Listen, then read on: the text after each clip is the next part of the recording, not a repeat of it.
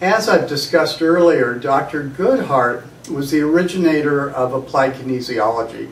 One of his students by the name of Dr. Thie eventually took applied kinesiology and popularized it with the lay public.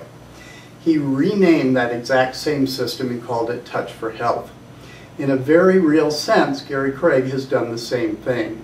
For years, Dr. Callahan trained other clinicians at tremendously expensive rates. Gary Craig simplified the Callahan protocol and popularized it so that the lay public could have access to it.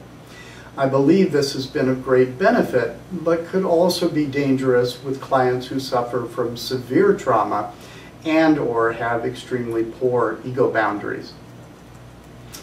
EFT is very effective for many conditions, especially if they are relatively simple and the cause of these problems resides in the present.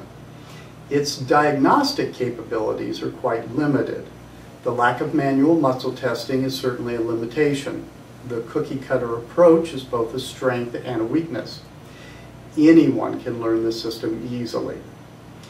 I use it mainly as a homework assignment for self-care with my clients.